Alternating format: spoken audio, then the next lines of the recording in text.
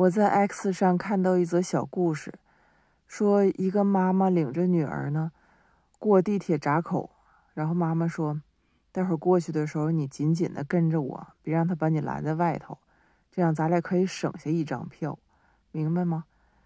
女孩说：“明白。”结果过去的时候还是被拦在外头了，然后那个妈妈就往死了骂她的女儿啊！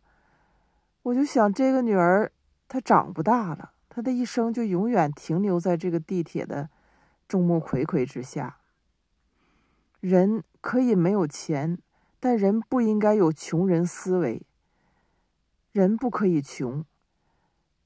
我祝天下所有的妈妈们都拥有富人的思维，比如说，不利用孩子满足自己的控制欲，不拿孩子当自己的养老工具。不把孩子的优点绑定在亲子关系上，还有，不随随便便生孩子。Happy Mother's Day to all real mothers.